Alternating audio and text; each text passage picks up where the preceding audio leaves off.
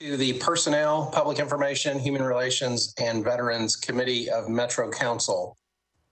Uh, I will start by, well, I'll start with the motion uh, pursuant to Governor Lee's executive order number 71 regarding electronic meetings. I make a motion that this committee meeting agenda constitutes essential business of the Metropolitan Council and that meeting electronically is necessary to protect the health, safety, and welfare of Tennesseans in light of the COVID-19 outbreak.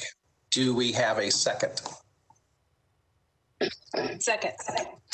Properly seconded. Uh, I will call the roll on the motion, and that will also serve as our roll call for the meeting as I detect a quorum. Um, Councilmember Roberts, Present. Uh, we're voting on the motion, so is that an aye? That's I'm on. just counting it as the roll call. Um, Vice Chair Hausser, uh, yes, you are here. Vice Chair Hausser, how do you vote? Yes, Uh, and uh, I'm the uh, Chairman Rutherford, I vote aye. Uh, Councilmember Suara, Aye. Councilmember Taylor, Aye. Councilmember Withers, Aye. Councilmember Young. Aye. Okay, moving to our agenda, which is a lone item all to itself. Uh, we have resolution RS 20 2021-703 by Toombs. Uh, approves a contract between the Metro Government and Splash Business Intelligence Incorporated to provide support, maintenance, and technical development services for the Splash BI and GL Connect reporting solution within R12 of the Metro government. Uh, we also have a letter to approve from the council member. Uh, if she is not present, and I don't believe I see her on the list. So she is not present, but we do have the letter. Um, so I will make a motion uh, to um, to adopt. Uh, do we have a second for discussion? Second. Second. Properly seconded. Is there any discussion on the resolution?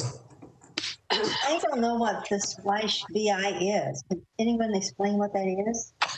I think it is something that came from the mayor's office in relation to um, a contract, but beyond that, I'm not sure. Um, so is there anyone on the line that can uh, give us a quick update on this? If Yes, there's no one from IT, oh, okay, Yes, ITC. sir. Yeah, I am here.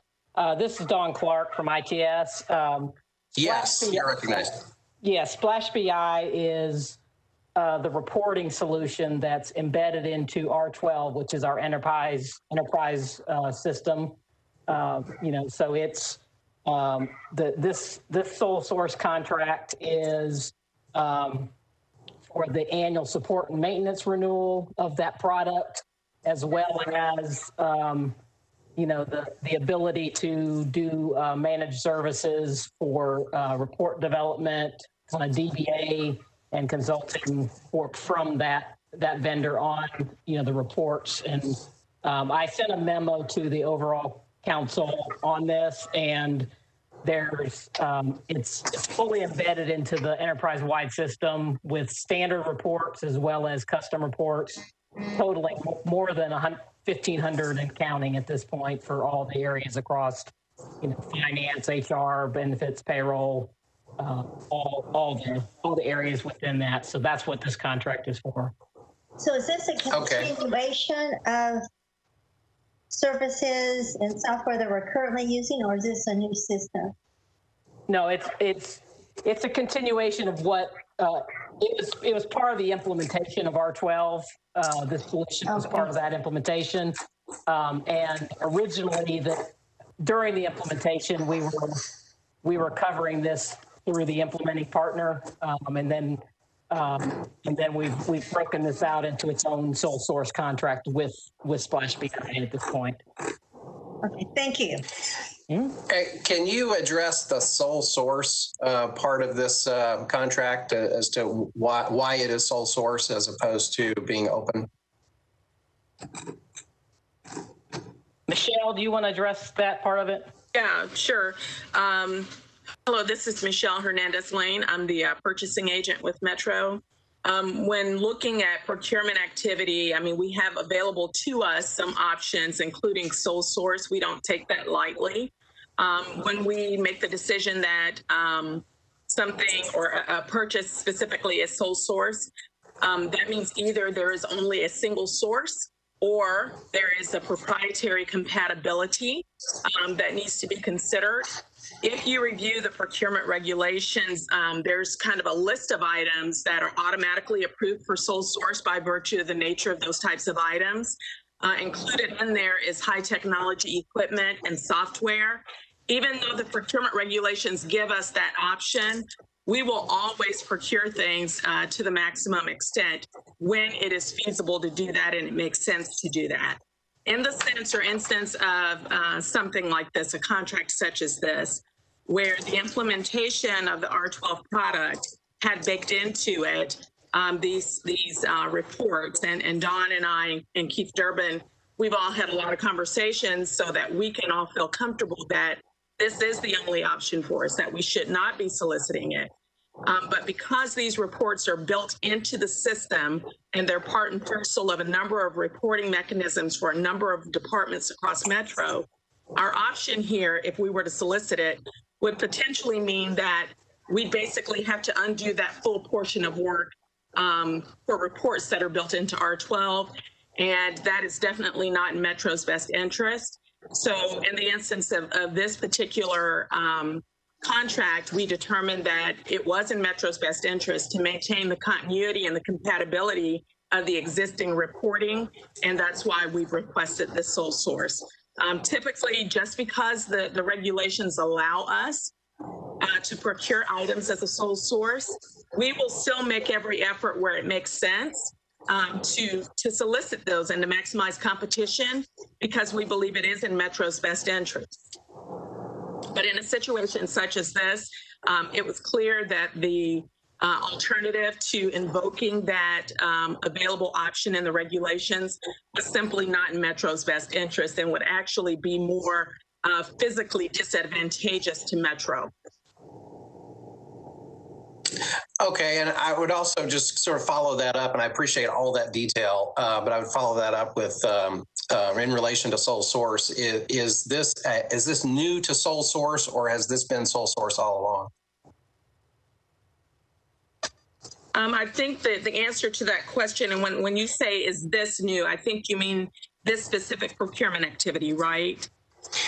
Um, well, it, well, I guess that would, I guess the, to answer that first off would be to clarify whether this is a new contract or an existing contract that's being renewed. And if it, if it is a renewal, is it, has it been sole source previously? Um, so it is it is a new contract, and as Ms. Clark mentioned, um, when we implemented the the R12, um, you know, installation, the implementing partner uh, included this as the mechanism for providing reports. Well, Metro has the responsibility, and Don, please feel free to step in when I'm out of my lane, no pun intended, um, on on this. Um, you know, functionally how this works. Um, but they included uh, this splash, you know, business intelligence piece as how they would produce the reports. And so what that did in essence is kind of created that as the venue by by which Metro would get reports from R12. So this is uh, now that the implementing partner has and, and Don again speak to this, but it's kind of winding down their activity with Metro, and we've got our product up and running. We now have to pick up the the uh, procurement method or the procurement um, mechanically the procurement activity to make sure we have ongoing maintenance for these reports, and that's what this contract is. That's correct. Yep. Okay. Okay. Uh, I, I appreciate all that detail. Uh, uh, thank you for for going into all of that. I'm sorry. Did I did I step on you? Did you have something else? Well, and you forgive me for the interruption. I, I apologize. I did want to make sure that everyone understood that this was a five-year contract um, that's being proposed, and the value of that contract is over that period of time. We are not bound necessarily to that five-year period. Um, if ITS comes back to us and says, look, we want to think about this a little differently, um, then we have that option. And if solicitation is, um, you know, available, given that, we could do that. But given how this uh, reporting mechanism is, again, really so embedded and integrated into the product, um, that probably would not be an option. And we may see ourselves, you know, five years from now, thinking about, uh, and ITS can speak to what our long-term vision would be, but thinking about perhaps having another solicitate, I mean, another uh, contract uh, down the road. Okay, okay. I, I know this uh, also went before budget um, yesterday, and um, I was not on the line for that committee meeting. So if, if there's anyone who was that wanted to address anything that um, might have come up during budget that would be helpful to us, um, appreciate hearing that now. We, we approved it on consent in budget. Okay, okay. Good news, good news. Thanks for that. Uh, I don't see any hands. Are there any other questions from uh, members of the committee? Then if not, um, Uh, uh, Chairman, Yeah, j- yes. just, just, just because we're being recorded, um, it was not on consent. It was pulled out of consent by, uh, Councilmember Burchell. But I think the question that she raised is already addressed in all the comments that you have. okay, thank you for that update. I appreciate that. Uh, And I That's believe, uh, correct. That- That's my Yeah. mistake, that it was, it was Okay. originally on consent, but it got pulled. That's right. Thank you, Councilman Okay. Yes, thank you. Thank you for that. And I believe, um, I believe I saw Councilmember Toombs, um, on the line now. Uh, Councilmember, uh, this is your bill. We announced that we had the letter to approve, but before we take the vote, did you have any, any comments before? No, Chair, I don't have any comments. I appreciate Thank you. committee support. Okay, thank you. Thank you. I appreciate that. Then um, with no further comments or discussion, then we are ready to, to uh, vote. Um, So we'll- I'll call a, I'll call the roll. Council member Roberts, Yes. Vice Chair Hausser, Yes, the chair votes yes. Councilmember Suara, Yes, Councilmember Taylor. Aye. Councilmember Withers. Aye. Councilmember Young. Aye.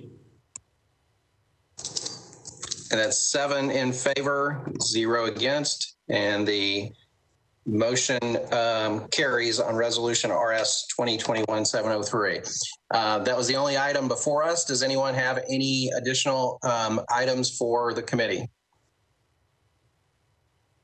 If not, then we are adjourned. Thank you very much.